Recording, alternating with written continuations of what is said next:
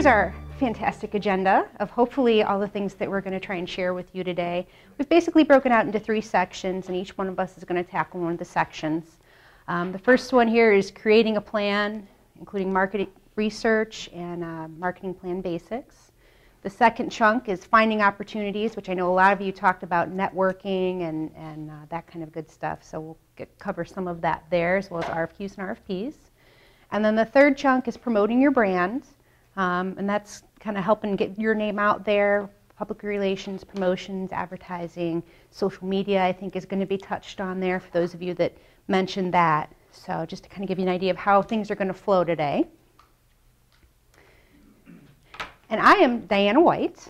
Um, i work here at Donley's. Um, I'm a CPSM, which means I'm certified in terms of uh, marketing professional services through the Society for um, SMPS, Society for Marketing Professional Services.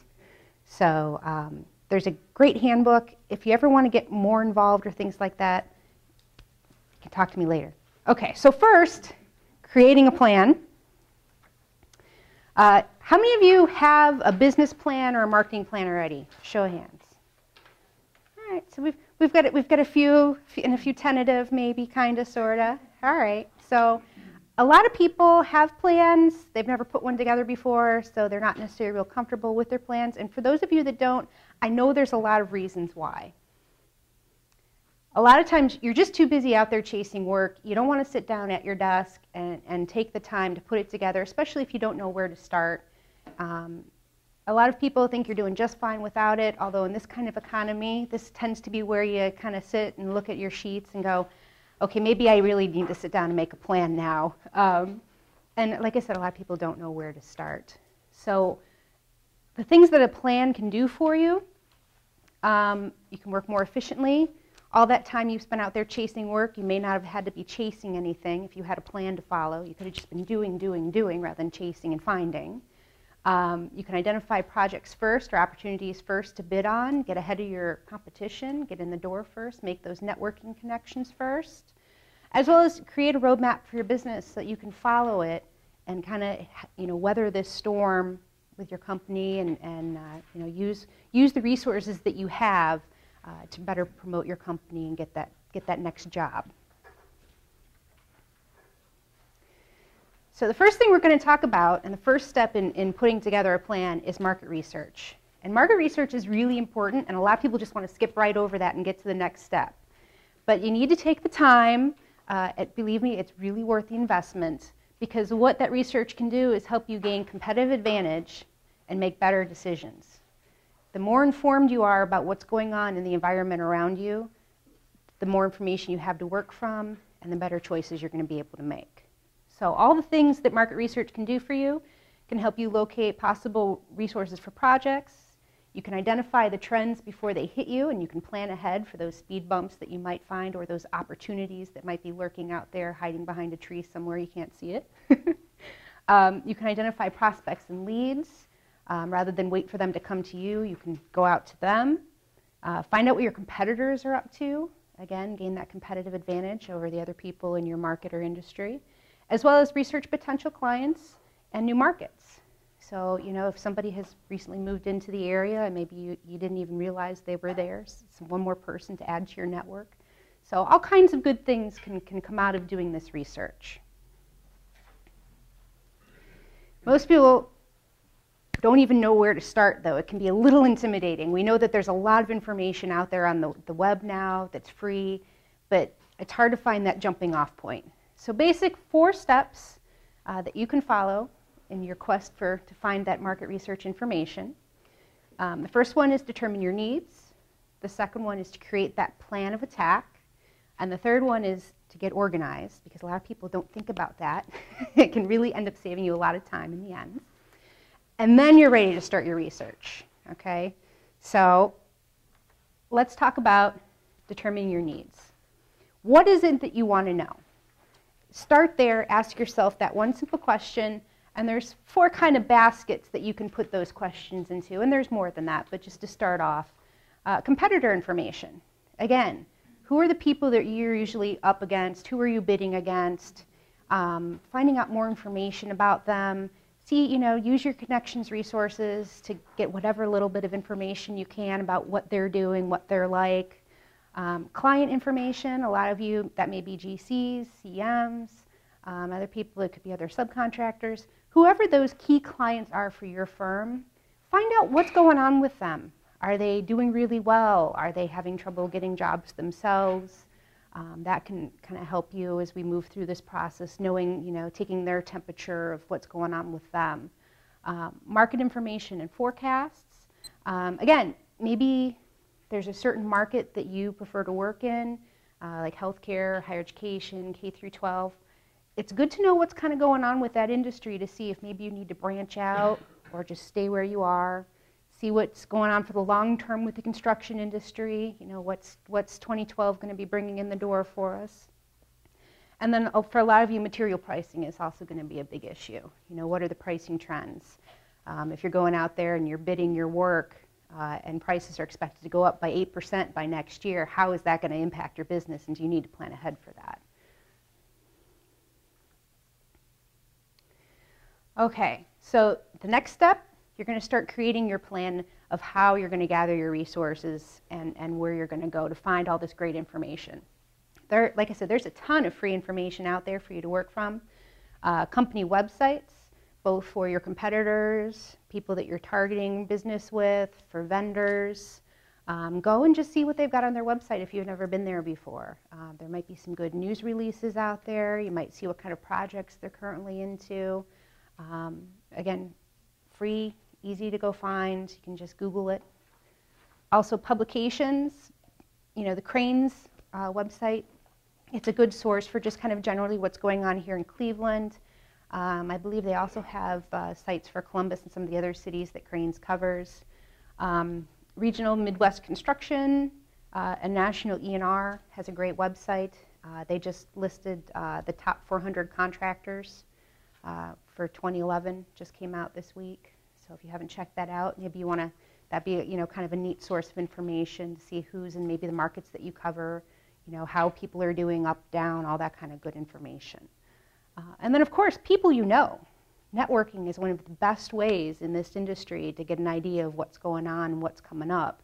So, you know, go to your clients, professional trade organizations like CEA, um, and then teaming partners, if there are part, you know, other firms that you team with a lot, or you know, maybe you're a contractor, check with architects. You know, you may not necessarily work with them directly a lot, but they can be a good source of information leads.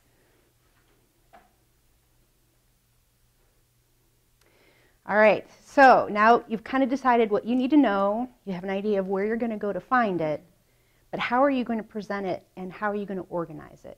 Because if you take the time to figure that out before you start throwing data into some sort of spreadsheet or Word document or PowerPoint, and then you find out later down the road, oh, I wish I had done it this way, it'll save you time in having to try to go back and redo it. We're all about saving time. so figure out, you know, how do you want to use it? Is this just for you? Are you going to use this to make decisions? Are you going to share it with other people at your company? Um, you know, and, and how are you going to present it if you are?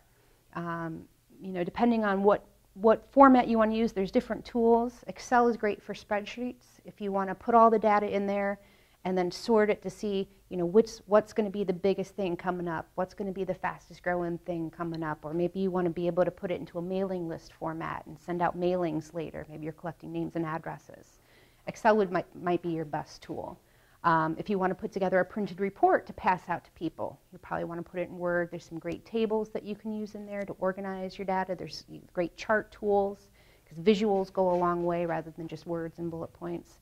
Or if you want to do a fantastic presentation, um, PowerPoint is a fantastic tool uh, between you know, the charts that you can do there as well as tables, the, the, the fancy smart art now that we can do in, in PowerPoint. So think about, you know, before you, you really go out there and start putting it all together, think about how it is you want to present all of this. Because there's no point in going out and collecting the data if you're not going to keep it and use it.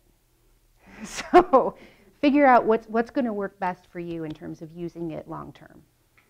So now you're ready to start your research. There's some key questions that you need to ask, though, before you go out there. You need to figure out, okay, who's going to be doing it? Is it actually going to be you? Are you going to have an admin person help you with it? Are you going to have your partner or prin- other principals help you with it? You know, who's going to be working on this? And then figure out who's doing exactly what. What is their task going to be? Because if you just go back to that and say, hey, I've got all this great information, we should do this, unless you figure it out and, and plan it and set your goals and your deadlines, it's, it's probably just going to sit on that neat information pile there on the side of your desk. So, and again, determine when you want it done by. I know we're all busy. I know if somebody just hands me something, hey, this is something good that I think you should work on, it's just going to keep put, getting pushed to the side unless you actually said, hey, I want to have this done by the end of June, and you know, we're going to move forward from there. So, all right, so once you've decided all of these things, and it may seem like a lot, but really it'll go really quickly once you decide that, yes, this is what I want to do. Um, so you're ready to go out there and do it. And here are some of the great free online resources that you can use, depending on what it is you want to find out. If you want to know what's going on with the construction market, population growth, those kind of key drivers to construction, uh, these economic data links are great for you. Um, AGC, AIA, Reed Construction Data uh, have a lot of great construction-related information specifically. If you want to know what's going on with different markets, um, Grubb Ellis has some great research reports on some of the the big cities here in the United States and what the office market's doing. Uh, Department of Veteran Affairs, if you're looking, you know, in that government work area, um, as well as go to your industry and construction associations and your market owner specific associations sometimes have great information. And then also your state offices for some of those type of government related things at the state level. You can find out what, what, their, what their budgets are going to be for next year, work coming up, things like that. So once you've done your research, you've got it all organized, you need to talk to somebody about it, even if it's just yourself. talk yourself through what you've got there. Um, the best thing is, you know, keep track of where you find it. Use footnotes. Put a little source, you know, at the bottom, um, so that hopefully you're going to be doing this at least every year. So that as you you update your business plan and things change, you'll know where you found this great piece of information and you know, go back and get the most up-to-date information next year. Because from a year from now, you're not going to remember, oh, I have this great chart. Where did I find that? You're not going to remember. So make sure you write it down, put that source in there. It'll make it easier uh, to keep doing this going forward. And also, um, you know, if you're trying to present this to other people at your company and they think, you know, it's just from you, all right. But you can add a little credibility to it if you say, well, this came from AGC. You know, they know what they're talking about. So. All right, and then you also want to be able to explain it. Now, most of the time, if you've done it yourself, you kind of know what it means and all that kind of stuff, but other people aren't.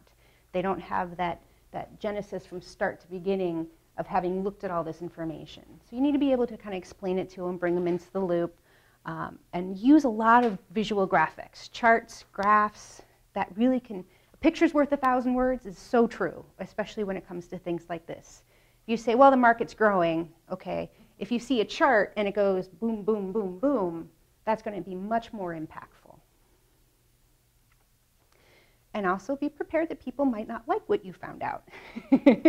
if you go back and you have an owner that says we need to stay in K through 12 come heck or high water, but you show them the K through 12 markets going like this, you know, they, they're not going to like that necessarily. So you got to be prepared for that. Be prepared with your argument of, of where you found all your information and all that kind of stuff. And, and you know, just be, be able to stand behind it and say, you know, I'm just telling you what, what's out there and this is what people are saying and this is what, you know, this is fact.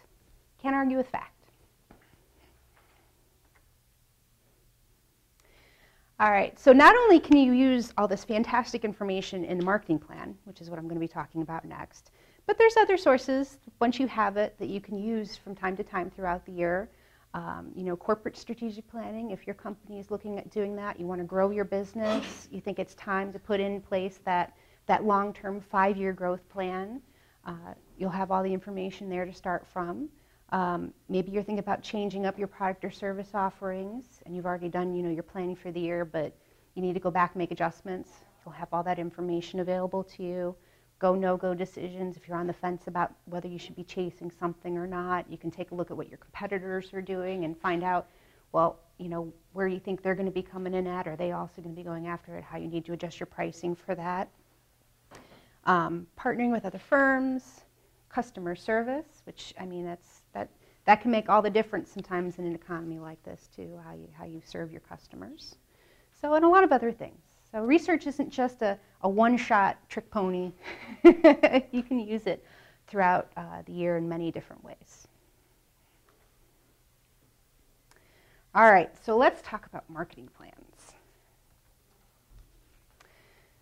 So for those of you who have never really taken the time to think about, well, what is a marketing plan, what goes into a marketing plan, or you just didn't know what all should be included in that, this is a basic definition. And the key word there to take away, I think, is map. Because you're going to chart how you're going to go from here to there. And you kind of know where you are now, especially after you've done your research, you have a better feel for the market and what's going on. But you really need to determine where it is you're going. You need to set some strategic direction for your firm, and then what you're going to do to get there. And that's really what kind of what a marketing plan can do for you. Um, you know, it's those shared strategies and tactics to ensure successful direction. So that's really what you're going to be putting together. So you can make a marketing plan as complex and detailed as you want, or you can keep it pretty simple and basic the key thing is whatever you're going to put together, make sure you're going to use it. So sometimes if, you, if it's 25 pages long, that's just too much. It's too much detail. It's not realistic. You know, it's, it's not going to be usable necessarily for your firm. You know, some people can get away with basically a one-page outline of what they're going to do. Probably a little more than one page, but you know, figure out you'll, you'll feel out what's right for your firm. But the thing is, you know, as you go through and put it together, just keep it simple, keep it basic the first time around. You can always go back and add to it. So we're going to analyze, we're going to set goals and develop strategies, and we're going to create and implement those marketing programs. So the first piece here is to analyze, and you're going to look at your firm, you're going to look at your competitors, and you're going to look at your key markets. So you've got all this great information already. Now you're, you're going to start breaking it down and really seeing what the meaning is for you. Um, you're going to look at experience and performance, record for your firm. What is it that you're good at? You know, what are your weaknesses? How about your competitors? How do they stack up against you? You're going to look at the market trends. Like I said, if you're in like that K through 12 market, you know, what's going on with that market? If that's where you, you've gone back and you've looked to see, you know, the projects and the bids that you've been winning, if you see some trends of some markets that you've been really successful at, see you know, how that trend line is going to be for them coming up in the future. Uh, also, maybe you've been working with some of the same GCs, CMs, or other clients. Maybe they, you have one guy that makes up 50% of your business. You probably want to see, you know, how they're doing in this economy. Because if they're 50% of your business and something happens to them, you got a big hole to plug. So again, also look at your competitors. What are, you know, see where they're at. Have they made any strategic changes? Are they branching out? Are they pulling back in? Um, and then also those networking and partnering opportunities. Who can you connect with? Who can you get information from? Who can get you that foot in the door? So you've probably heard of the SWOT analysis. It's a great tool for breaking all of these fantastic things down. Uh, you've got your internal and external analysis, so you're looking within your company and you're looking at all those things going on outside your company. And you're looking at the strengths and weaknesses and you're looking at the opportunities and threats. So, you know, what are you good at? What aren't you as good at? You know, opportunities, you know, is there something that you heard about or when your competitors maybe went out of business? You know, is there some place that you can go that's going to strengthen your business outside, you know, a good direction maybe that you want to extend yourself? and also threats. Maybe one of your competitors has been moving in on one of your key clients. Uh, maybe there's a new firm in town that is expanding regionally. You know, those are, those are important things that you need to look at in terms of your firm and, and the world around it.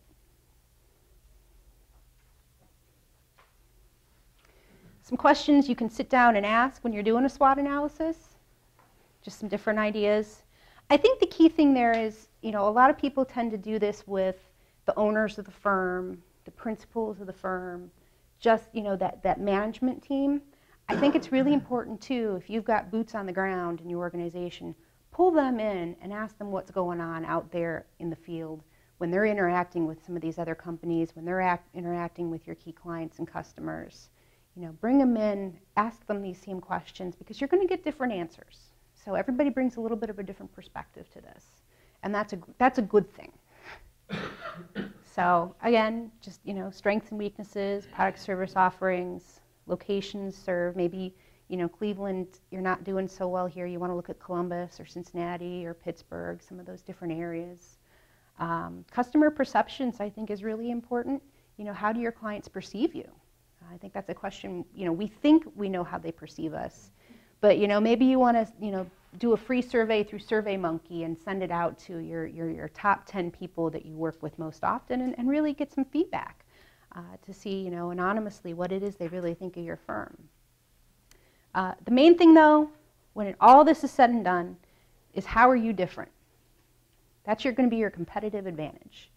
And that's what you can use in your marketing plan to really get that message out there to help build your business. What is it that sets your firm apart? What do you want to set your firm apart? And now you're going to figure out how you're going to get there. Okay, so now we're ready to set some goals and develop some strategies. We've got all this great analysis, we've got all this great information. Now we need to start making some decisions. All right, so there's, there's different kinds of baskets that those can fit in, um, like in terms of services. You know, the type and mix that you offer. Uh, maybe you want to expand, maybe you want to change it up a little bit. Um, so again, you need to pick that starting point. So where are you now? All right, where are the market opportunities and threats?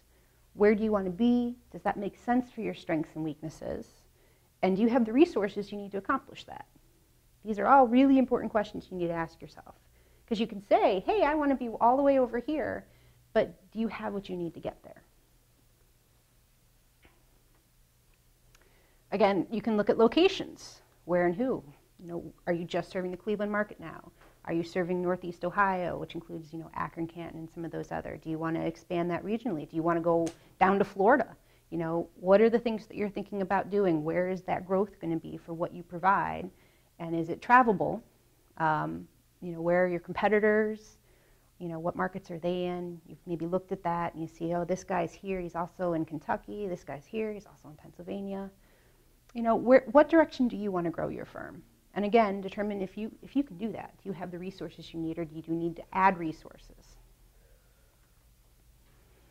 And some people just want to pick a number. They want to grow their business. And that's, that's fine again. Look at where you are now how much do you want to grow? And again, what makes sense? But no matter what you do, make sure it's something you can actually achieve. You know, be realistic. We'd all love to double or triple our business in a single year. Most of us can't do that. so really think about it, you know, where you want to go and if, if you can really achieve that. So once you've kind of gone through that thinking process, you can, you can pick out these goals you want to make sure they're specific and measurable. You don't want to just say, I want to grow my business and make more money. I want to grow by $1 million, and I'm going to be able to track that through my work in place. And that's, most importantly, I can do that for my company. That makes sense for me. All right? Now, once you've, you've done that, then you need to assign responsibility and ensure that the person has the resources to accomplish it. You can go and turn to your foreman and say, you're going to be doing X much more work, but if you don't give them the ability to hire more people, if you're already maxed out, there's no way that that can happen. So you're going to create a barrier for yourself that way. So you want to make sure that whatever it is, you know who's doing it, and they have what they need to succeed at doing it. All right, so again, also don't set it and forget it. It's one of those things that, okay, we've done all this, whew, glad that's over, it's going to sit there for a year. Because then it doesn't do you any good either. So you want to make sure you don't just leave it and forget about it. Revisit it. Okay, so now you've got your goals. You know you're at point A, and you, you know you want to go to point B. And we're just as an example, we're going to say we're going to expand our service to include widget making in Cleveland with a goal of 1 million per year in revenue. It's specific and it's measurable. Okay, good. So now how are we going to get there? And that's, that's the rest of this that we're going to be doing now. So there's different tools that you can use to get from point A to point B. And Jeff's going to be talking about some of them with business development and networking, as well as you know your proposals and, and how you're going to pursue some of those jobs. And then of course there's you know direct marketing, promotional campaigns, advertising, PR, which are all the wonderful things Nancy's going to be talking about to you today later. So there's this great little toolbox and mix of things you can pick from uh, to help you get. That's going to be your map. So just as some examples, when we talk about business and networking, uh, use your existing contacts, join those industry associations, uh, you know, maybe exhibiting at trade shows that, that make sense for your firm. Uh, if there's lead services that you think might be useful for you, buy into those. Uh, you know, make sales calls, all that kind of good stuff there. Some other tactics, you know, advertising, mailing campaigns. Maybe you need to make a new brochure, if that makes sense. Monthly email programs. As well as, you know, get, get a story published on your firm if you can. You know, maybe make those relationships, you know, put it in Builders Exchange or Properties. You know, send press releases out. Uh, you know, speak at some place to establish yourself as an industry expert. So all of these, you know, kind of ideas, they're going to get more in depth than that. But just to give you an example of what some of those items could be.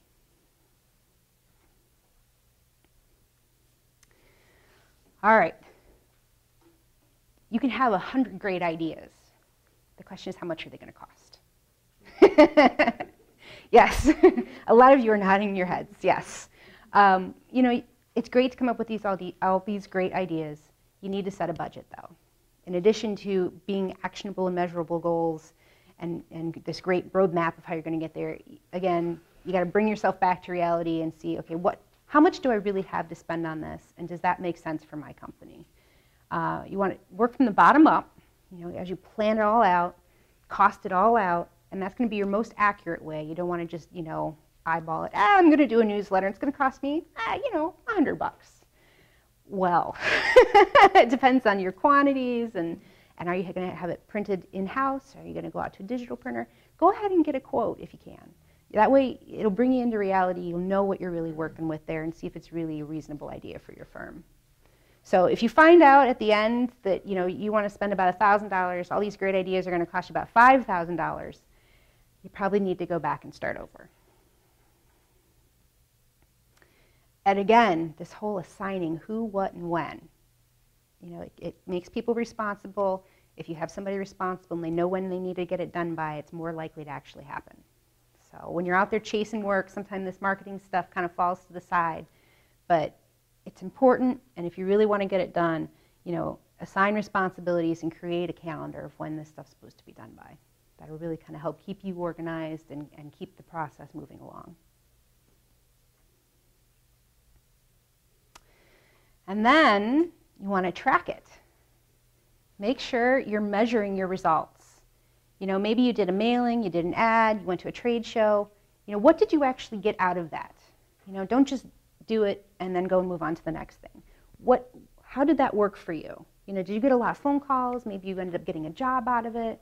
You know, that's great. Then you're getting results. Now, if you didn't get anything out of it, figure out what it cost you to do that and see was it worthwhile um, did your cost equal your return? So if you spent $1,000 on an ad and you didn't hear anything from anybody about it, then, and you have another one that you're scheduled to do later in the year, you may want to cancel that and go back and put that money where you can really make it work for you. So, and again, revisit the plan as often as you need to.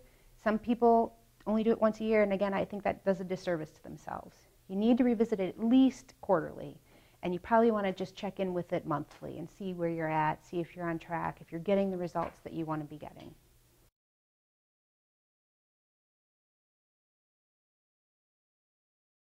Uh, just kind of a, a, general definition of marketing versus sales. I think uh, um, Diana did a, a, terrific job in taking guys through marketing research and, uh, the marketing plan. But the, marketing is everything that, that supports the sale up until the point where you're actually in front of a customer and proposing on a project.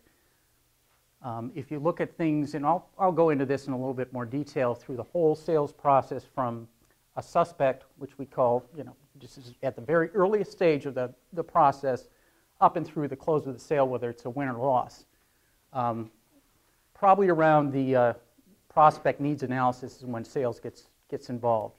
But um, up until the point when you're proposing on a project, um, that's, uh, that's marketing. And closing the deal applies to sales. Um, Unless you lose the sale, in which case it's estimating's fault. Uh,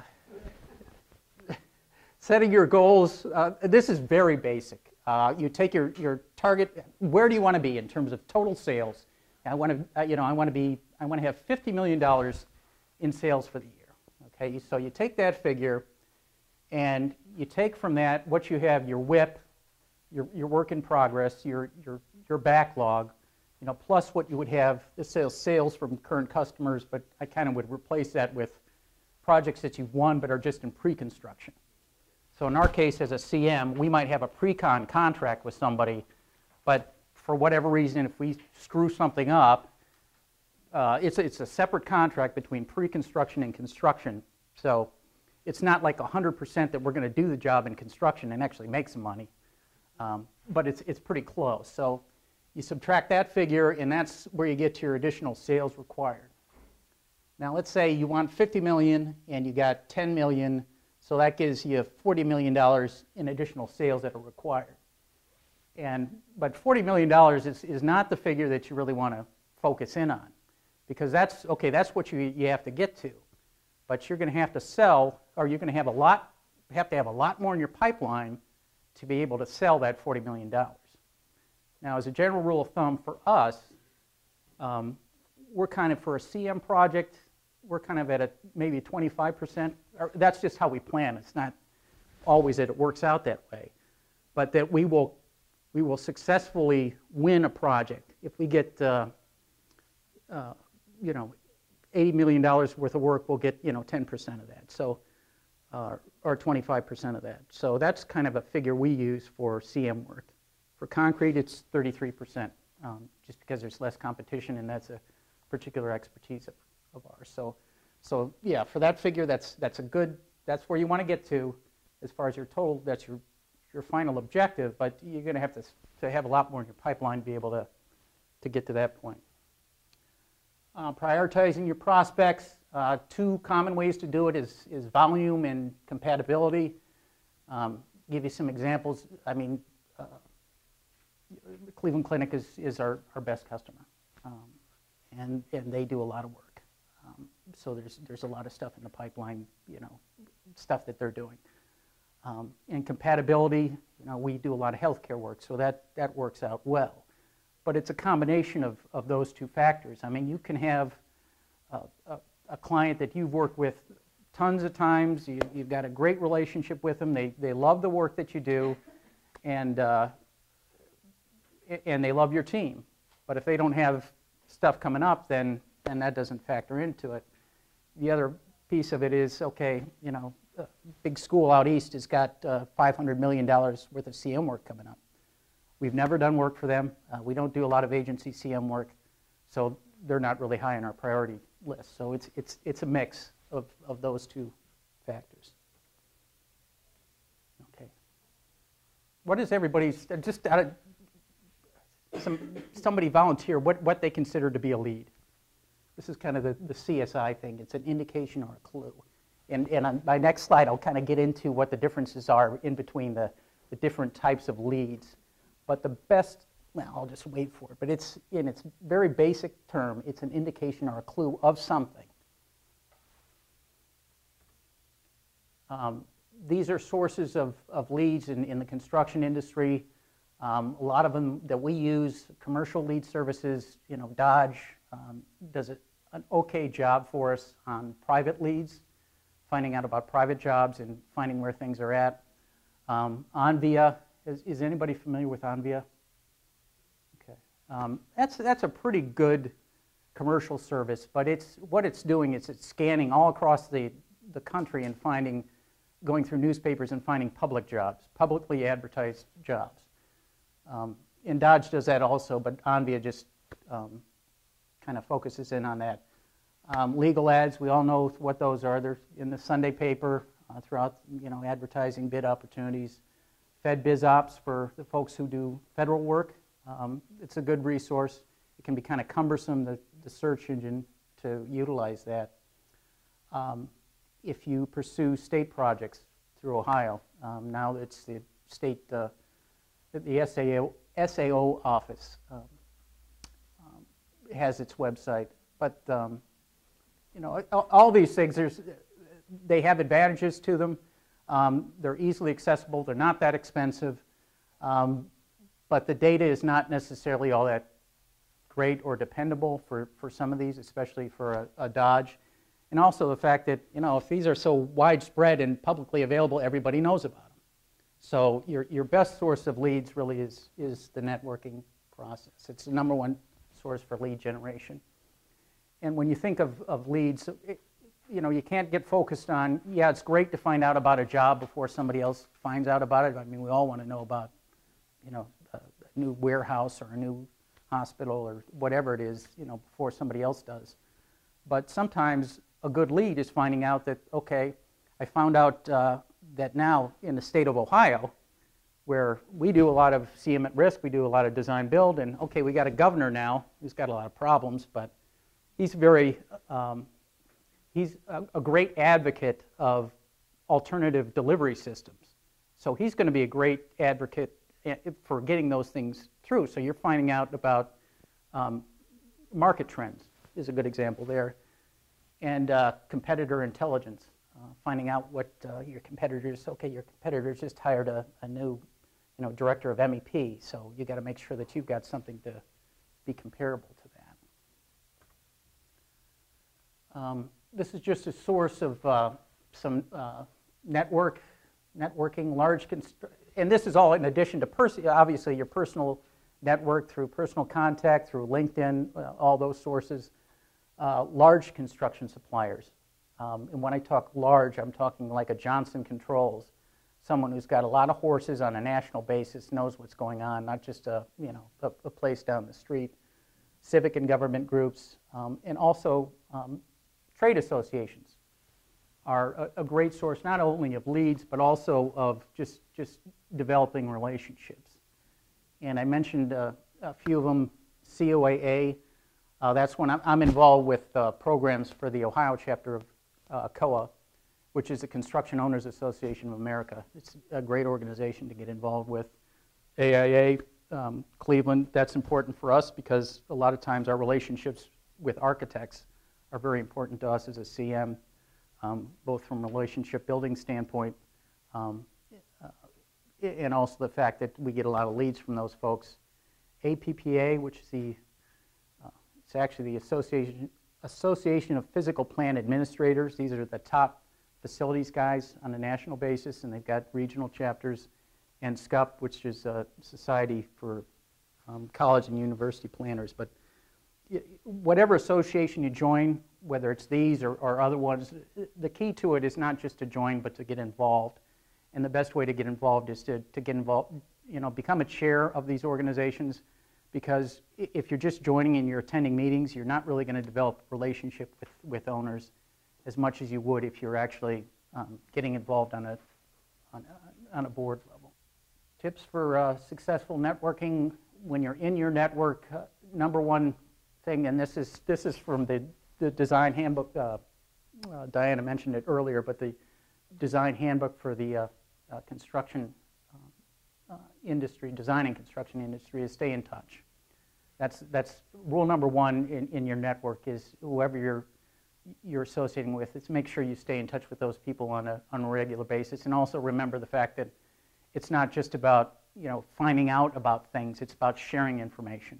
Because if you're not, and it's not a quid pro quo that you tell me something, I'll tell you something, but um, that, that there's knowledge being transferred both ways because sooner or later you're going to find somebody you're giving all this information to and you're not getting anything back and, and that person doesn't belong in your network and you shouldn't be belong in that person's network if, uh, if the reverse is happening.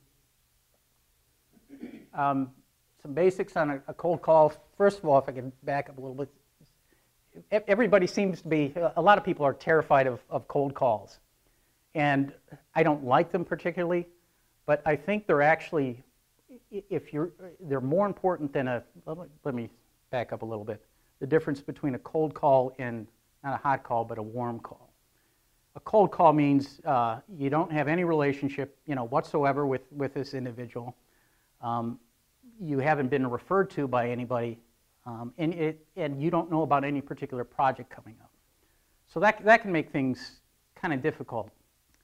But if you're able to get in and, and, and get this to this in the next slide, but if you're able to get in with that individual and, and just uh, have an introductory meeting with that individual, that means a lot because if you're meeting with that individual and it's not about a specific project, you're trying to find out more about them, chances are they're going to appreciate that a lot more than, hey, Mr. X, I want to get into, I, want, I know I've never met you before, but I want to get in and I want to talk to you about Project A. Like, okay, well, I, I wouldn't have seen you otherwise. So if you, you know, the first thing, the key is you want to show interest in them as a company before you show interest in them in a particular project. Otherwise, they're, they're just going to think that you're kind of, kind of predatory. But don't, uh, don't be surprised if, if you don't get the meeting. Um, we talk about the, the gatekeeper, um, whether it's sec- secretary, receptionist, someone who feels, uh, or whomever, who feels that it's, it's their job to protect their owner and uh, you know, keep, keep you away from them if you don't have a, an existing relationship with them. Now, the good part is, as opposed to maybe 15, 20 years ago, or even 10 years ago, there usually isn't a gatekeeper anymore. Um, people have direct dials, they have direct emails, um, it's a lot, e- and they have fewer, quite frankly, administrative staff. So they're operating with less, they're operating more efficiently, so there's less layers that you would have to get through. That's, that's the good news. Um, and in the gatekeeper's defense, I mean, they're trying to protect that, that in, individual's time also and make sure that, um, that they're doing their job. Um, just some tips if, if this person does have some layers and has some gatekeepers, just as kind of um, uh, words to keep in mind is call them before 8 o'clock or call them after 5 o'clock. Is just kind of a good rule of thumb. I mean, their facilities guys are early people and they stay late. So, and you know, we're construction people and we come in early and we stay late. Um, so if you call them before or after those times, you'll have a better uh, chance of uh, making some contact. Um, if, if the customer really doesn't want a meeting, um, this is kind of the, the gut check reality check time is if you've tried again and again and again and you've made contact with, with this, this individual and they're still not seeing is you have to know at some point you just got to cut it off. Um, unless you can have somebody who's a, a friend refer you, you know, then uh, you, you got to know when to, to cut it off. But uh, if, if, you, if it isn't, if he's saying two or three months, go ahead and schedule it. But in the interim, so you keep some top of mind, keep that direct mail coming, and uh, keep that establishment. Okay, you make some, some contact, actually. Uh, some more uh, cold contact, cold call contact uh, things to keep in mind is always keep, if you, you make contact with that person, is even if this person is just would, talk your ear off for, for half an hour, is, is try and keep focused um, because generally if this is the first time that you've made contact, um, they just maybe they just want to talk, and you can let them talk, but try and keep that that that that initial call to five minutes or less, because you don't want to have a meeting over the phone. That's number one. You do not want to have a meeting over the phone. What you want to use that that five minutes for is to find out a little bit more about the project, if there is a project, or find out about the, the individual, the company, um, and then schedule a personal meeting. And you'll have more success in a personal meeting. Statistics here. Persistence wins. Um, this is kind of shocking how many people give up on the first call. 25 do two calls, 12% make three calls. Um, 88% of all sales are, are, made after the fifth call. So it's, it does take persistence. And uh, you know, I talk with our, my president, and he, he'll, I mean, he will not return a call sometimes until he gets five calls. But keeping that in mind, again, is you don't want to keep calling. At some point, you need to know when to call it quits. All right, so you got your lead. Let's take them through the, the process of, of getting to the sale at this point. And this is, these are, are uh, definitions that, that Donley's has, has established for, um, for lead development. Um, they're not universal, but I, I think they work well. Suspect just means that this person uh, has a potential to have a construction project in a certain amount of time. Um, number two, a prospect means you found out that they have a, a project coming up. You don't have a lot of information about it, but you know that they have it coming up within a certain date time frame. Needs analysis means, okay, boom, I've, I've got my, um, had my meeting with this individual, and I'm finding out about the project. I'm finding out who the architect is, who the engineer is, um, you know, whether uh, they prefer CM at risk, agency CM, design build, all these kinds of things. Okay, so you're finding out about the project, and at some point, you're just waiting for that RFP to come in that you can respond to. Um, and then you propose on the bid, and then um, you either win it or you lose it, based on estimating. So you got you got this information. Um, you know, what do I get? How, how do I keep track of this? Um, there are a lot of off-the-shelf. These are some good things. This, these are actually from the uh, Design and Construction Handbook, and these are. And I'll send out a PDF to everybody, um, so you have this. I'm sorry I didn't make copies of this thing, but um, these are essential questions to ask when you're looking for some system to keep track of your leads. Um, one thing to keep in mind um, when you're, you're establishing a, a lead um, tracking system is that, you know, ACT is one that's out there. But um, it, it shouldn't be something where you're just keeping track of your appointments, your contacts, you know, okay, I did this with this guy today. What you want to do is you, you need to be more holistic than that. You need to think of, it needs to be kind of built around the company, okay? Whether it's, it's university hospital. That should be your, your, we call it the parent, okay? And then you have, coming down from that, you have your contacts and you have your projects. And the reason you don't want to ever have a, your lead based on a, you know, a contact is because people lose their job, change jobs all the time. So that would be my a number one thing to tell you um, uh, to do is, is make sure it's based on the company.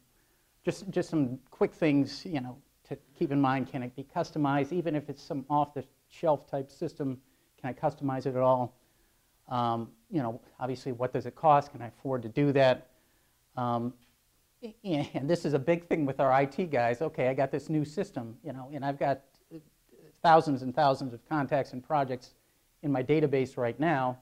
Is can I get that information easily, transfer it easily from, from that system over into my new system?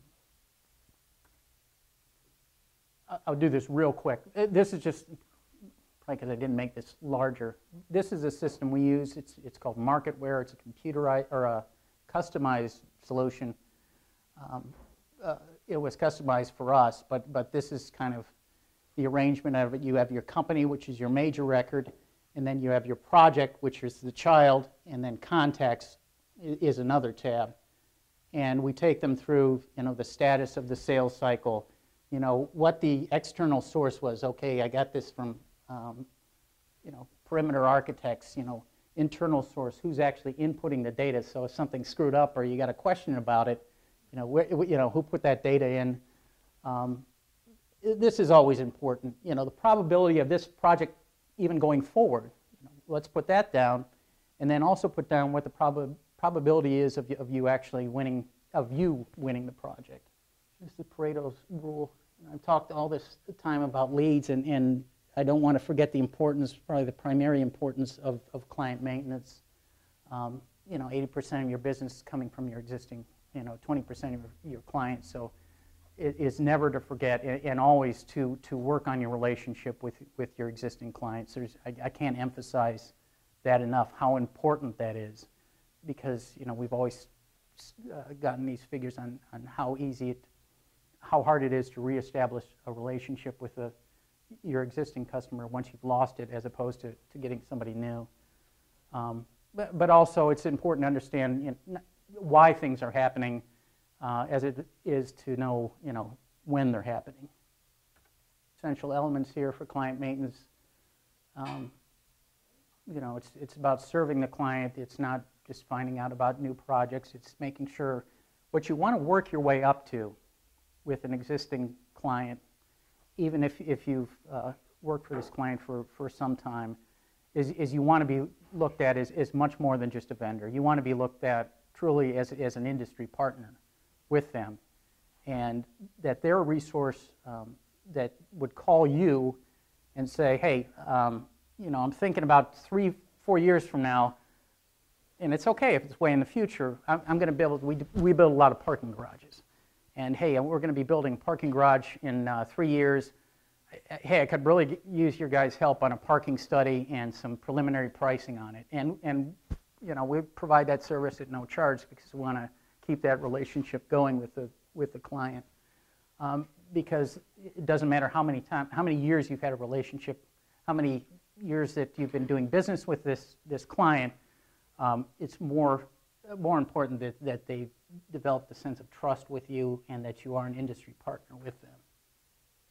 RFQs and RFPs, right? You've got, we've done the business development and, and I'm going to try and orient this, and this is going to be kind of the challenging part because we've got contractors in the audience and we've got subcontractors and suppliers, so I'm going to, I'm going to try and address both of them, but I'll answer questions afterwards. But um, these are some essential questions that, that you want to ask um, whenever you're putting together an RFQ RFP. Um, probably a, a, a number one is, is you know, why should we be responding to this RFQ, RFP? And I'll get, get into this. I know Diana mentioned it a little bit earlier. Uh, the whole concept of, um, you know, a go, no go decision. And even if it's a go, what am I going to do to make my submission um, special? A number one is institute a formal go, no, no go policy. Know, some of the things I think that you, you know, we talked about it earlier is, is do we have a relationship with this, this client? And, and there's all sorts of resources um, actually through SMPS, and, and they've got samples of go, no-go sheets, worksheets, that you can bring into your, um, to your group, your administr, you know, your, your management group, and, and, and you can customize them a little bit, but it'll help you qualify, basically, whether you should be going after this or not. But, I mean, those are some of the basics, is, uh, you know, making sure that this is a project that you really have a, a good chance of of not only winning but making some money at. That's the other thing also. Is it, there can be a you know, great relationship with a customer, but if you're you know the fees are uh, not what they, they should be, then you're not going to, to make some money. Oh, number three, I just want to point that out. This is really important. Is are necessary personnel resources available to produce quality work, and not only to do the uh, the proposal part. I mean, this is kind of focused on the proposal. Okay, I've got uh, my project manager and superintendent, and, and, he's available to work on this proposal. And I've got the estimator who's going to put together the, you know, the bid. It's not just that. It's making sure that, um, especially for specialized project like a, a healthcare project, renovation, expansion type project, is okay. You know, I've, I've got the personnel ready to put this proposal together is my superintendent who would be ideal for this project, is he really going to be ready for this? Because you, know, you, never want to you never want to submit on a proposal where you know 100% positive ahead of time that that individual is still going to be working um, because that's, that's going to bite you in the butt and it's going to reduce your credibility.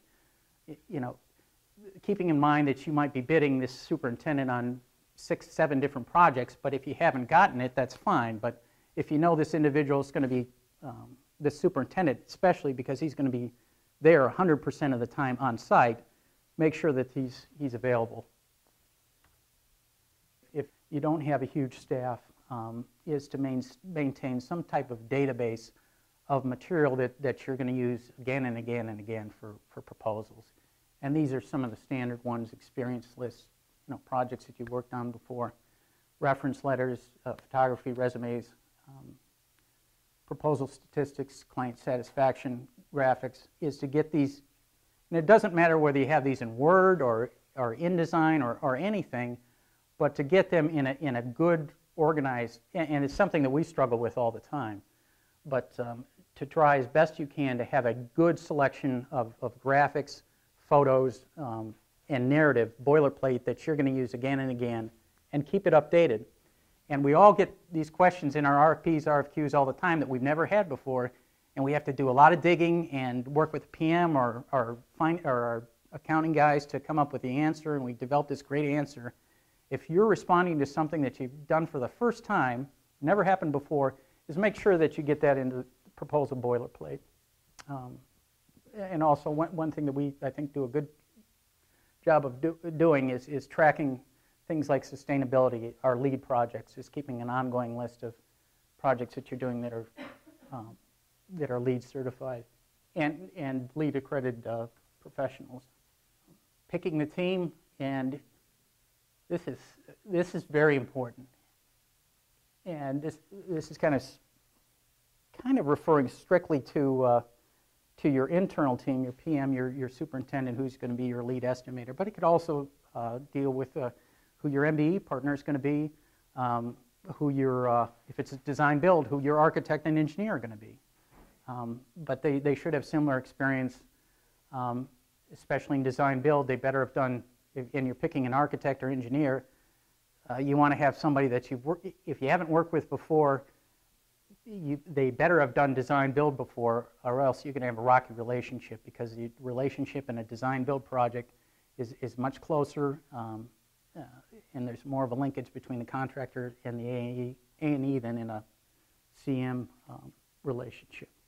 Uh, proposal planning, first thing you want to do when you're putting together your proposal is, is get your, your marketing people together um, along with the entire project team. You want to make sure that uh, uh, your operations lead, your, your PM, a lot of our RFPs, we have to put together a schedule. Um, you got to have your, your estimating lead there because even if you're not putting, they're not asking for an estimate, they're asking for fees and general conditions. You know, all the professionals, you want to get them together um, at, at the start because you don't want to be at the end of the show and marketing has got all their stuff together and we still don't have a schedule from the, from the PM. And that's usually one of the things that kind of lags behind. So you want to bring those guys to the front as quickly as possible because they've got, you know, quite frankly, we're doing marketing 100% of the time. Your project manager and the superintendent, they got their boots on the ground, so this is not priority one for them. So you got to bring them up um, as, as soon as you can. Three kind of big boilerplates with uh, is, is establishing your competitive advantage, owner-centered centered content. And, and this can be challenging because, you know, one of the other rules with uh, putting together the RFP is making sure that you're answering the questions in the RFP exactly in the order, if, if possible. That's the other uh, key to it, is, is answering the questions in the order that, uh, that's being asked in the RFP. Because nothing will frustrate an owner more than, than not having that happen and having to search for answers. But if you're doing that and you're, you're being responsive to what they're asking, how are you also making sure that the points that you want to get across are getting across? And the way to do that, and it, it might seem kind of um, kind of natural, but then you find yourself pulling back is is okay. This let's say it's a hospital project, hospital renovation project. I want to make sure in my resumes, I want to make sure in my executive summary, I want to make sure in my cover letter, throughout the proposal, I'm emphasizing how much my renovation experience that my team has. So the key there is you can be responsive and do things in the order that's in the RFP, but make sure you're, and wow, I'm beating a dead horse. Beat that dead horse. You got to restate that over and over and over again because you want them to, for that one thought, if it's one thought, that, you, that you're the king of hospital renovations and you know, you know what, the, what they're looking for and what's important to them, you want that to be crystal clear so they just, uh, don't be afraid to pound them over the head. Um, these are kind of the essential um, boilerplates. Again, I said follow the RFQ, RFP uh, format. Um, last thing with, yeah, don't be afraid of, of, white text at all. I mean, I'm not a design professional. We got great design professionals in there, but uh, don't be afraid of that. And it makes it much easier to read if, if you got lots of white space. So don't be afraid of that. Um, but also, um, do not proof your own work. I, I have a, a uh, well, I've got a lot of, uh, I've got th three marvelous marketing coordinators, um, but when I have them, you know, work on a cover letter or, or proof even uh, something as, as a large narrative, um, oftentimes I'll have them give it to somebody else to proof also. Um, But in my own stuff, I never proof my own work. If it's a marketing coordinator who's, who's written a narrative, I, I never have them proof their own work because you're, you're going to go right past it because your, your natural instinct is, well, I know this, I, I wrote it, you know, I'm familiar with it, is, is you're going to, you're going to gloss over those, those tiny mistakes. One thing just on resumes is, is make sure the, unless they, they ask you to do, go more than one page, is keep those to one page. Keep your resume to one page. Um, it's my pet peeve with architects on design build projects is they'll go five, six pages on all the awards that they've been submitted for.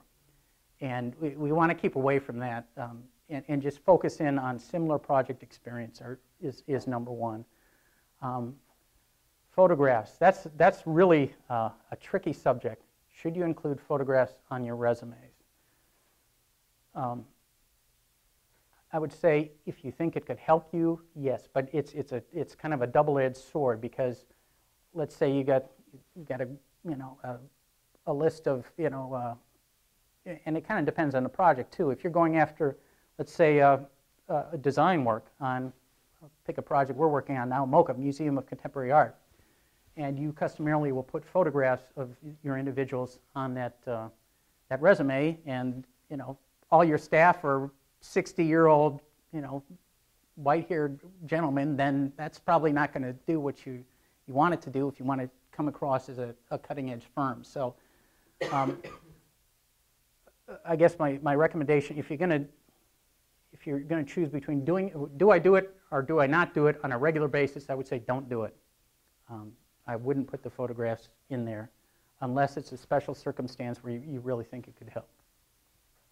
Um, the last thing with the debrief, whether you win or lose, and, and this, is, this seems to be a tough thing with, with, with a lot of people. I, I know I struggle with it.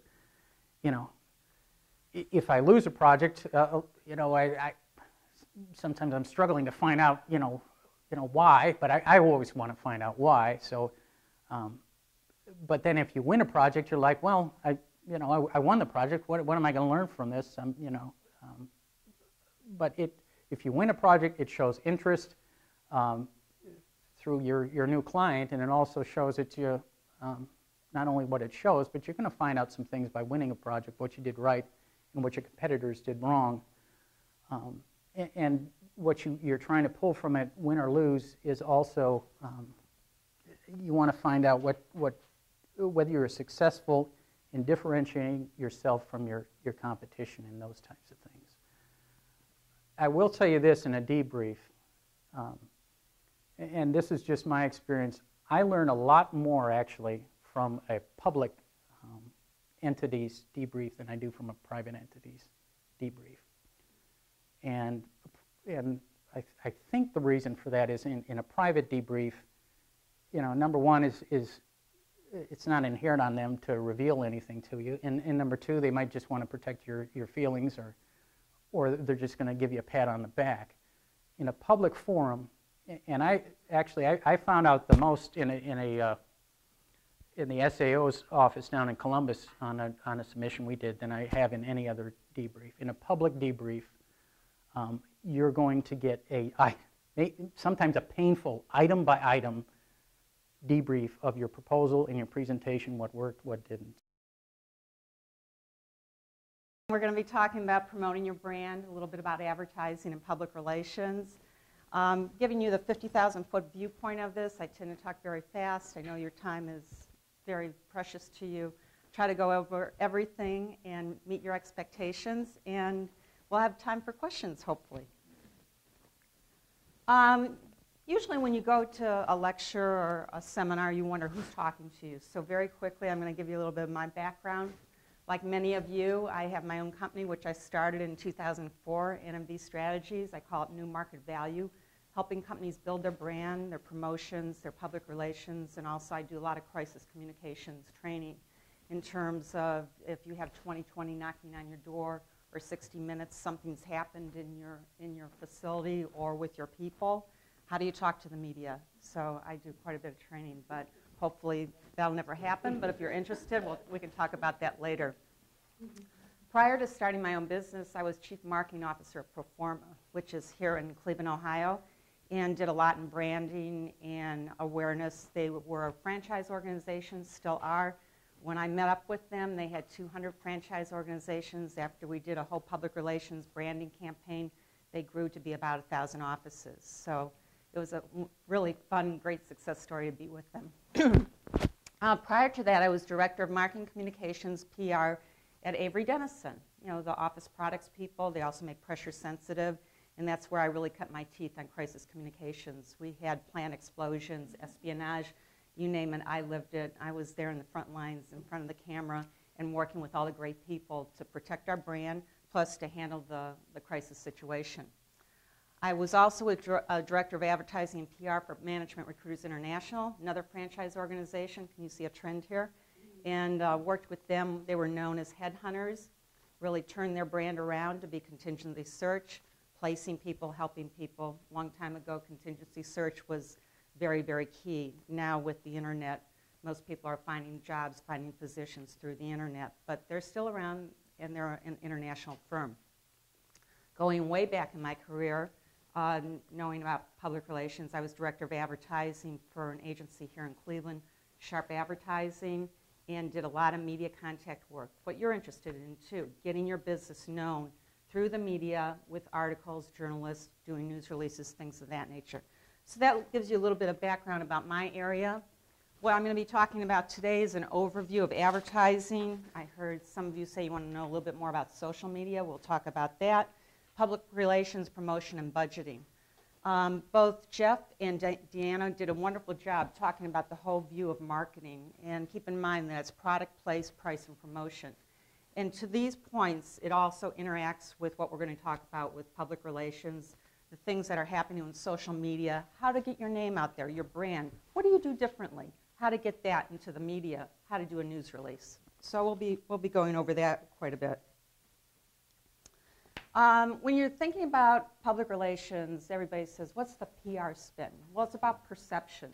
And there's actually four stages. You have to define, what do you stand for? What's your unique selling proposition?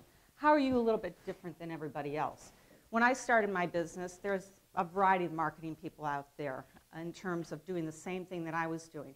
But I tried to figure out how can I be just a little bit different? How can I talk about my talents? How can I help businesses? So one of the things that I did in terms of crisis communications, which is a, a key part of my business, is I called on Case Western Reserve University and I asked them, did they have a seminar on crisis communications? To my delight, they didn't went through a lot of background checks in terms of me being an affiliate professor there, but it's made a difference. And I'm sure in every one of your businesses, you do something a little bit different. What do you do? How would you differentiate yourself if you just had to answer that question right now? Exactly. That makes you different than probably a lot of the other people in here. So that's what you have to think about. Again, the other points are believe you can do it, go through your plan, as Diana said, work your plan, have it be a living, breathing plan that you can relate to. Just don't put it up on the shelf. A lot of the clients that I work with, they talk about doing PR plans, and we put together this beautiful binder, and then it collects dust. No, don't do that. Have a simple plan, maybe an executive summary that you look at every month, every quarter, go back to it, make it measurable, define it, make it useful. So those are things to keep in mind. Again, believe you can do it, position yourself, determine your strategy, and achieve to deliver on your promises. And this is all around the measurement status, too. Okay, what is advertising? Advertising is different than public relations because advertising, you're in control of the message. You're not having a reporter talk about, you know, what your business is. You're placing the ad. To some of you, you have to look at your demographics in terms of you're just looking at Northeast Ohio. Are you going to Pittsburgh? Are you going out to other uh, outlying cities to uh, perform your business? So you have to look at, is advertising going to be a solution for you? In our age of all these messages coming at us, we really have to figure out, should you be going to trade publications? Should you be doing advertising in local papers? Again, it's an analysis, it's the competitive analysis, and it's also the research that Diana talked about. There's so many choices. I'll give you a short story. I um, had a client who does performance high-tech trailers, you know, those big trailers that know, some of the rock stars use and some of the other companies, they'll take their, maybe their products along and they'll have like an open house to walk through the, tra the trailer and these things are magnificent. They can cost millions and millions of dollars. So High Performance High Tech Trailers, they're located in Painesville, Ohio. They wanted to increase their market share. They wanted to get some more customers, and their, their key line with me is, you know, we have to do advertising, Nancy. We have to do advertising. We want to grow our business. And I said to them, well, how much do you want to grow by? Oh, you know, they gave me a percentage. And I said, well, what does that really come down to? I said, because we could do, you know, a big national advertising campaign, or we can do a small demographic campaign, or regional, or whatever. What it came down to is that they only wanted four new customers. Because, uh, as Jeff talked about, what is your bandwidth?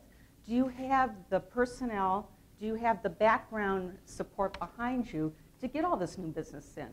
If you don't, don't do a lot of advertising. Don't do a lot of PR.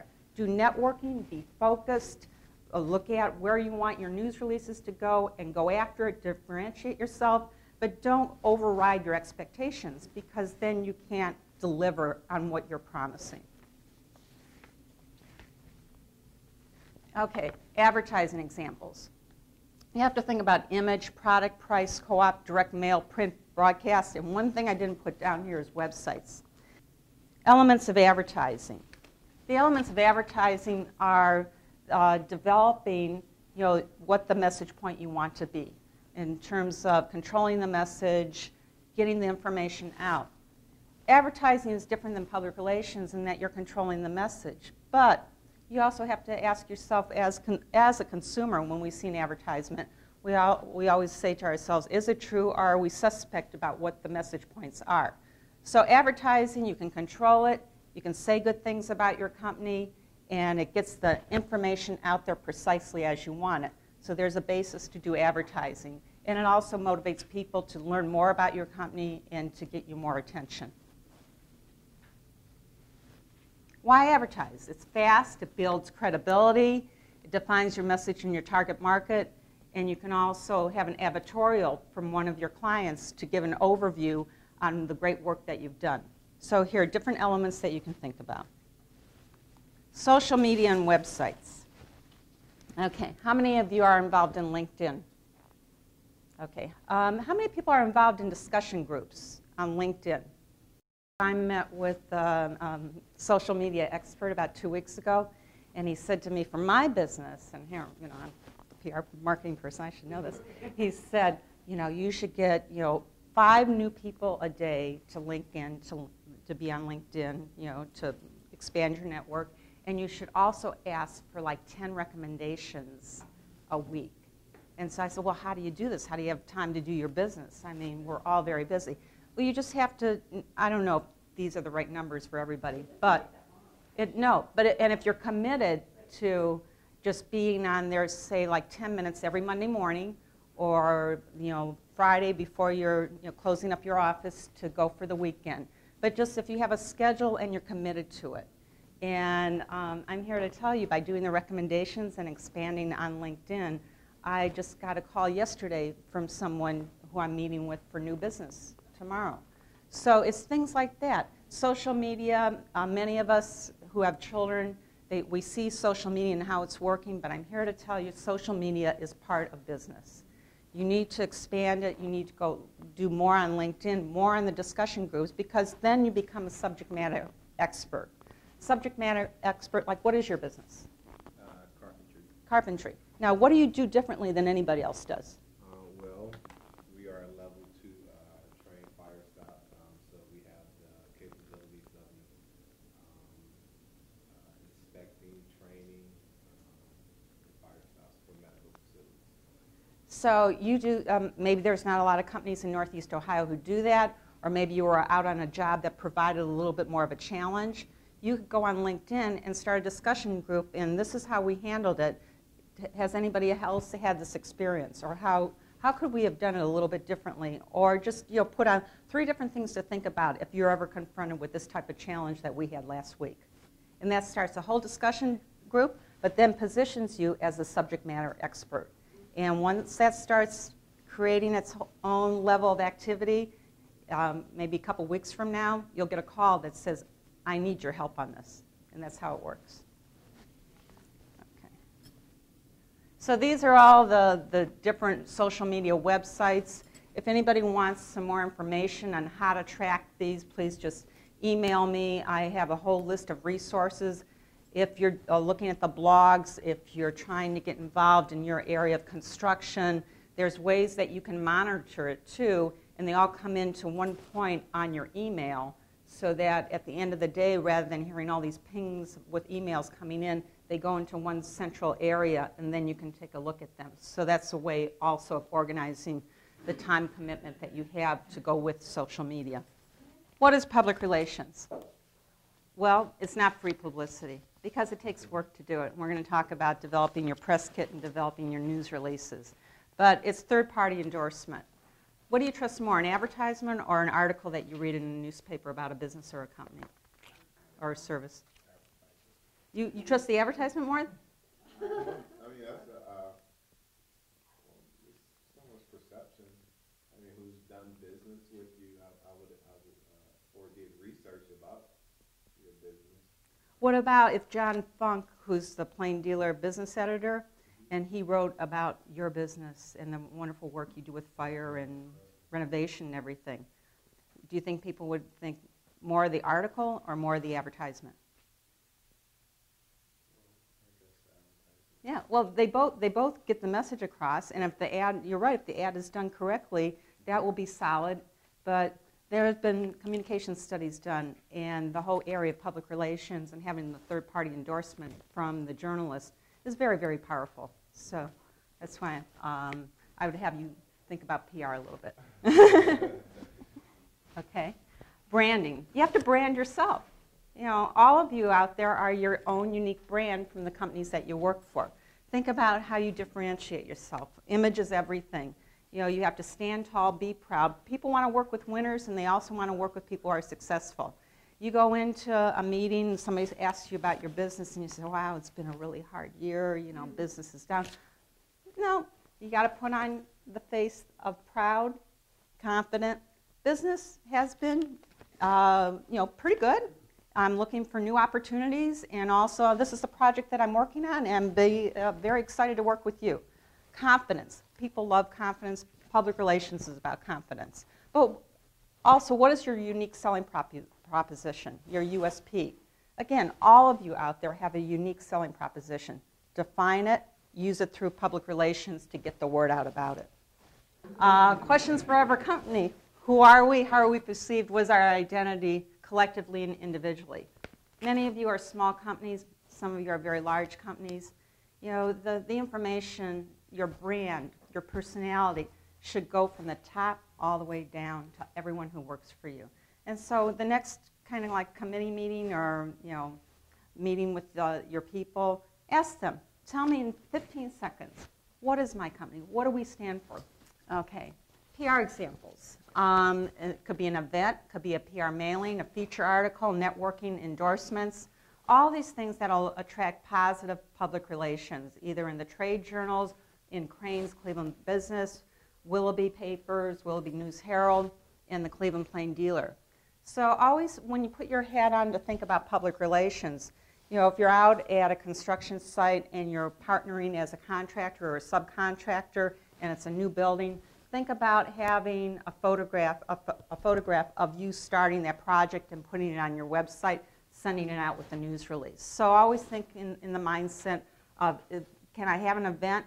Can I also get my team together and maybe do the upcoming bikeathon for the Diabetes Association and then have the team who's on the bikeathon put that photograph on your website. It shows that you're involved in the community, plus it gets your name out. What did Bar- uh, P.T. Barnum say? you know, the only bad publicity is if you don't, my name's not in it. Okay, so getting your name out, getting your brand out, that's all about PR, and you can do it in a variety of ways. Again, the elements of PR is not paid advertising. When a journalist writes an article, you're not paying for them for them to do that.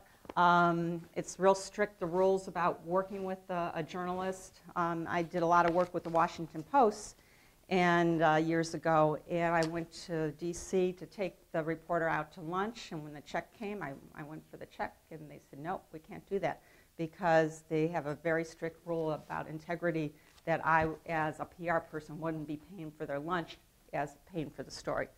Um, so the elements of PR in terms of working with the media are, are very detailed in terms of getting them the information, asking them to uh, provide um, a good article, and also helping them fact check, but not too many of them will give you the article before it's, it's completed. Okay. Why use PR? Well, it creates a buzz, and it also creates a third-party endorsement, and it uh, positions you as being even more credible out in the in the marketplace. So we're going to talk a little bit about how to put together a news release and how to get more PR out there. And I'd like to uh, do a handout since we're going to be talking about uh, news releases. Here's 38 reasons why to do a, a press release. I can probably, if I had a little bit more time, come up with about uh, 50 more reasons. But um, the whole idea of putting together a press release, it allows you to give information out, send it to a newspaper reporter or TV or a radio station, and have them call you back and get more information and interview you. Plus, it gets the word out. You can also take a news release and also send it out to your clients or potential clients, getting the word out on who you are and what you do. Okay. Developing a PDR uh, strategy, you have to look at who you want to contact. Media lists, which means the newspapers, radio stations, TV stations, even web publications online. Develop the list, put it together, find out who the reporter you want to attract. It's usually the business reporter, or it can also be the reporter who covers housing, construction, do a little work. Again, it isn't just open up the newspaper and see who's covering what, or even call the newspaper and ask them, you know, who covers this beat. Uh, there's always feature opportunities. Um, a lot of information can be given to a newspaper reporter, and you never know when they're working on a story that could possibly include you. So it's good to have that relationship. When um, I'm, I'm pass this around, this is NovaGuard Solutions, which is right here in Cleveland. This is an example of a, a press kit that I did for them. Um, there was an article that they had in a trade journal that I included. They have different types of products that go in here, the background around the company. These are all different elements that you can have in your press kit so that it gives the whole story about what your company does, who you are, how you're unique, and gives a whole background information on the reporter who's doing the huge story. Now, from right out of the gate, you don't have to have this huge PR kit. You can start out step one with a news release, and we'll talk about how to put together a news release. There's also things that you should uh, consider with your PR plan. How many of you, when you go in to make a cold call or a meeting with a company, do you have a marketing piece that you leave behind? Great. So these are examples of some of the different marketing pieces. Um, in this day and age of people not reading, I would say this is a lot to read, but this was like a case study of the roofing company that I worked for, and then this was a more extensive uh, marketing piece because this part of the business was going to the Department of Transportation. And we know those government people, they like doing a lot of reading, so this was a, a kit that we put together for them. So just several examples for, for you to, to take a look at. Okay, creating a PR plan. This is the Cliff's Notes version, the summary version. I'm not a big fan of PR plans that go into like a three inch binder because as I said before, nobody uses them. You have to have like the executive summary, a real good overview of what you want to accomplish, what your objectives and goals are, what strategies you're going to use, and what tactics. So let's see. Pass this out too. I don't know how I'm doing dividing all this up, but we'll try.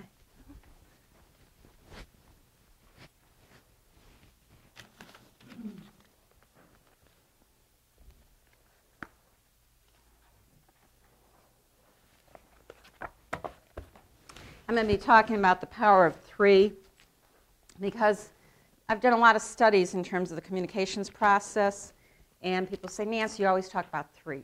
You know, three this, three that. Well, was it uh, ready, aim, fire, ready, set, go? Um, the, the brain works in threes. Uh, how, we don't have three little lights in the traffic, five little lights in the traffic lights. We have three. We have red, yellow, green. And so they've done a lot of studies too that finding out that in terms of communication, the rules of, of threes really make sense because that what people can grasp. So I always say to my clients, and I'm saying it to you, that when you talk about what your objectives are for your business and your PR plan, think in threes and then develop beyond that. So this is a great article you can read later about the power of threes, and um, it goes along with what you're trying to do.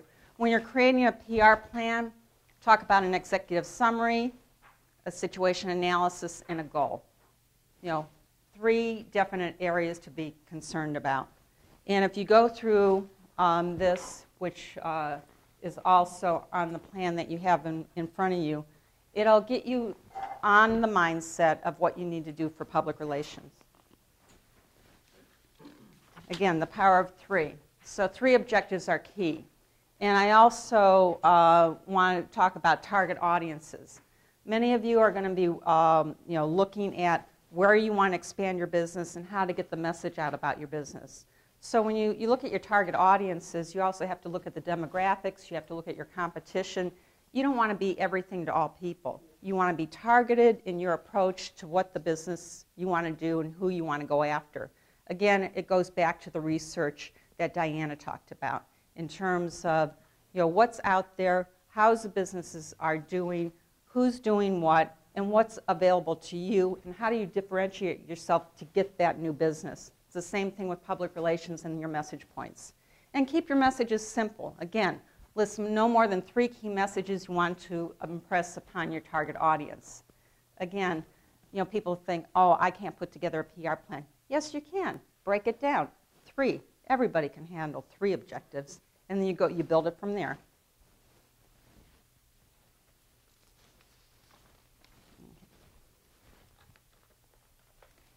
This is a handout on strategies versus tactics. Um, people tend to get confused in terms of what is strategic and what is tactical. And I found this uh, definition that I thought gets everybody on the same page. If you have a strategy that says, I want to gain market share, well, the one strategy would be to gain market share would be brand building. And as part of a company's brand building strategy, they might adopt different tactics like online advertising, celebrity endorsements, you know, uh, uh, doing more in terms of sponsorships and things of that nature. So those are all tactics supporting the strategy. And that's something that you should be very clear on because sometimes companies get so uh, caught up in their strategies and the objectives that they interface and you're not clear on what you need to do. Budget. Um, again, uh, a lot of us have um, very, uh, a, a, lot of excitement about doing all this, but it all comes down to budget, budgeting your time and also the amount of money that you have to spend on this. And measurement is very important because after you've done all this in terms of public relations, putting together your news releases, maybe revitalizing your website, doing everything you have to do on LinkedIn, you have to take a step back and say, I've done all this, and two months from now, where will I be? And then when the two months comes, find out what has it been in terms of return on your investment, new business, in terms on building your business to the next level. So again, analysis. Okay, the 411 on news releases. And I'm going to hand out this. Uh, this is a great handout um, in terms of people who have never done a news release before. Um, this is from Duct Tape Marketing. Is, anybody is anyone familiar with Duct Tape Marketing? A great site. and um, Duct Tape Marketing has a quick guide to organizing your thoughts. You can go online. This is, um, a, I printed it off from the online publication and you go to duct tape marketing, and it asks you certain questions about putting together a news release. And it's really amazing because after you put in all the information and organize your thoughts, you hit the last button, and lo and behold, up pops a news release. So uh, you have to refine it just a little bit, but it, it's an excellent, excellent tool. Promotion. How is promotion a little bit different than public relations? Promotions is sponsorship, branding, um, it's affinity programs, you know, all those little key tag things we, we're all carrying around now, we're putting in our smartphones. It's testimonials, referrals, it's uh, putting together a plan for fre- frequent buyers. Again, I can't impress upon you enough how important it is to have testimonials, do case studies, because this gives you the credibility and documents the fine work that you do. So that if you go into a meeting with a new client, you can show them these handouts, you can show them the work that you've done that has pictures of what you've done, and also the testimonials of the customers that you worked for. And everybody likes the credibility and also uh, the recommendations that come from that because people want to feel good about who they're working with if they've never worked with you before. Okay, different, um, some examples of promotions are the rebates, the coupons, the sweepstakes. Um, you can even uh, think about having a referral program with your customers right now, uh, logo items. How many of you have, um, for your crew, have shirts with your logo on them? Okay. Well, that's for those of you who don't, something to think about, even with your small business, to have um, a pen with uh, your name on it to, as a leave behind. Um, one other thing I, I, was thinking about not too long ago when I, when I was looking for someone to do my deck, and of course I went to the website and um, I did a Google search about people in my area who could resurface uh, the decks, and then I was out on 271, and lo and behold, as I was driving along, I passed someone who had uh, one of those things on the outside of their truck talking about deck services. Now, how many of you have some type of promotion on the outside of your car or your truck or whatever? Well, that's good advertising. And it was magnet and mm-hmm. it came off. Oh, well, you need to fix that. Well, I, lost it.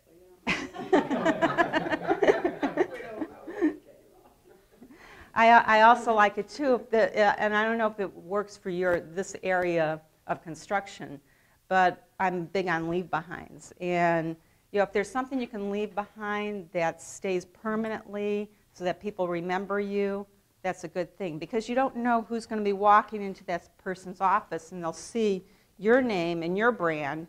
Might, it might be someone who comes, you know, as a guest and then it triggers something that they will, want to work with you or look at your website. So getting the word out, getting your brand out as much as you can, that's the name of the game with public relations. Okay. Um, again, promotions opens doors to new uh, channels. It's all about getting attention.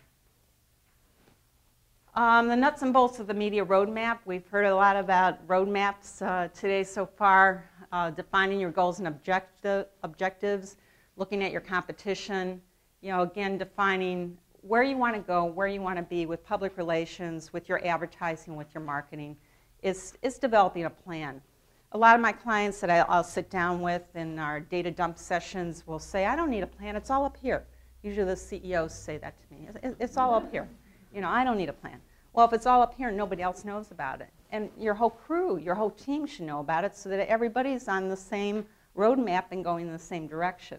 So even if it's just a one-page plan that talks about your PR and how are you going to target with your news releases or where you want your business to go, you know, it's like the, the human mind is, is very, very unique in that if we write it down, it seems like we're more committed to it. So I would say develop your roadmap. Uh, the marketing budget. Again, this isn't in stone. It depends on your businesses. All your businesses are a little bit different. But again, a marketing budget has to be formally written. And usually the rule of thumb that uh, varies a little bit is 5% of revenues for the year. Again, you know, with all my clients, I usually sit down and say, what are, what are your objectives? What are your goals? What's your overhead? What do you want? What what's your bandwidth in terms of how much new business do you need to do uh, to get you where you want to go? How can you do it? How can you achieve it? And then we'll go work backwards to see what budget is needed to perform everything uh, that we need to get done. Okay, in summary, again, what will your media roadmap be as it relates to advertising, as it relates to uh, public relations? And again, have it be flexible. Review it every quarter, every six months. It isn't something that's in stone, it's a living, breathing document that you need to be able to work with because things change all the time. Okay, I'm, um, I'm a big believer in if you can think about it, if you can dream about it, you can make it happen. The mind's a powerful thing. This was a long time ago, but it made a real influence on me. This is my late husband and my, my little girl, who is now 22 years old and graduating in June.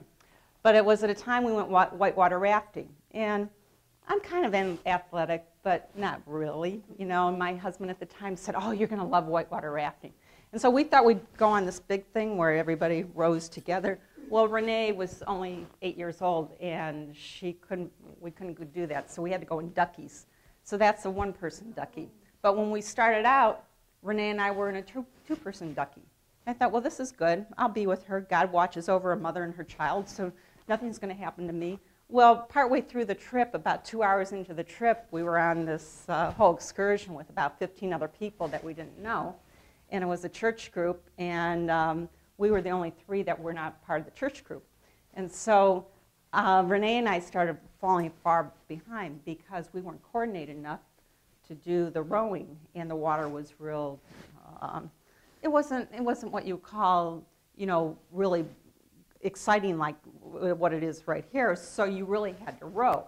So partway through the thing, Olga, our tour guide, who looked like a female Arnold Schwarzenegger, said, You know, this is not going to work. You have to exchange duckies with your husband, because he wasn't a single ducky. Olga was from Germany. Not doing too good a rendition, but she says, "You, you can't, you can't. we're slowing everybody down." So I thought, I said to Stephen, "Oh, I don't, I don't want to go in a ducky alone." You know, and he said, well, you're going to have to do this because they're going to leave us behind. So we made the choice, and so I went in the single ducky. Renee and Stephen went into the, uh, the two-person ducky. Everything was hunky-dory, but I kept falling more and more behind. You know, little Renee wasn't even helping me out then because I was alone. And so right before lunch, and I'm falling far behind, Olga gets on her mic, uh, megaphone and says, Nancy, after lunch you can come into the mother ducky and you, then everything will be fine. And I was saying to myself, oh my gosh, I'm going to hear about this around the dining room table for the next 15 years that mom couldn't do this. So I started meditating and I said to myself, I'm going to be able to do this after lunch. I'm going to become like Power Woman. I'm going to go over the whitewater rafts, or uh, whitewater waves, and I'm going to be able to do this. And that's the message I have for you. Do your plan. See it in your head that you're going to do PR you're going to do your differentiation, have your elevator speech, and you're going to be marvelous. And you can do it. If you believe in yourself, you can do it. Guess what happened? I, I did it. My arms felt like they were going to fall off. but I went over this white, the, the, the waves got to be real exciting after lunch, let me tell you.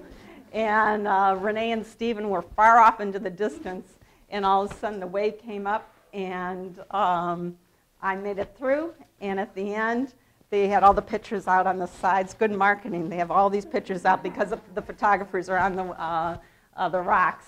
And uh, Stephen said to me, Well, do you want any of these? I said, I don't care how much they cost. I want them all. so we bought three pictures. So take pictures of your crew, of your team, put it on your website, do the testimonials, do the PR, and you'll be marvelous and you'll get more brand exposure and more business. I can guarantee it. Thank you very much.